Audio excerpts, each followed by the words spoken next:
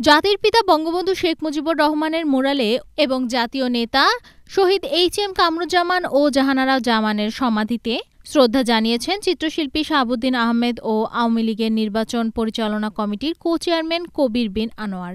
শুক্রবার সকালে প্রথমে নগরীর সিএনবি মোড়ে বঙ্গবন্ধুর মুরালে শ্রদ্ধা নিবেদন করেন তারা। এরপর তারা কান্দিরগঞ্জে শহীদ কামরুজ্জামান ও জাহানারা জামানের সমাধিতে শ্রদ্ধা নিবেদন করেন। শ্রদ্ধা নিবেদন শেষে দোয়া ও মোনাজাত করা হয়। এ সময় আওয়ামী লীগের সভাপতি মণ্ডলের সদস্য ও রাজশাহী সিটি মেয়রের এইচ এম কামরুজ্জামান লিটন সহ অনেকে উপস্থিত ছিলেন।